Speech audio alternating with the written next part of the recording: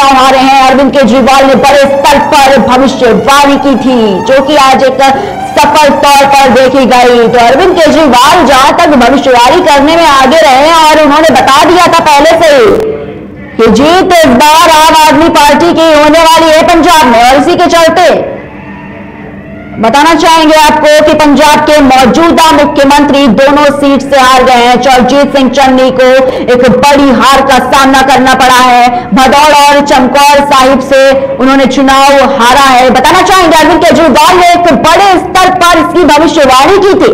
तो देखा गया साफ़ तौर पर कहीं ना कहीं अरविंद केजरीवाल की जो भविष्यवाणी थी, वो साफ़ हो चुकी है। जो रिज़ल्ट है, वो क्लियर आउट हो चुके हैं।